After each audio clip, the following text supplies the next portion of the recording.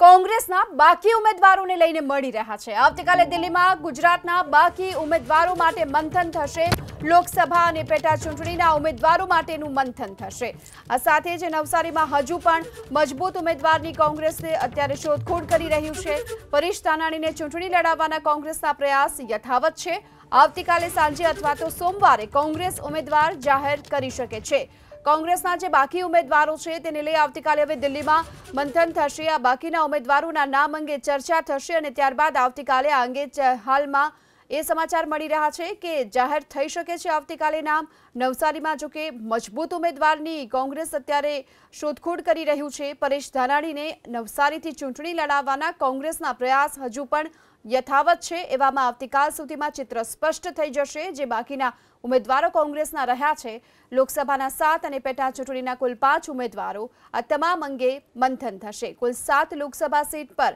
કોંગ્રેસે ઉમેદવારોના નામ જાહેર નથી કર્યા અને તેની સાથોસાથ જે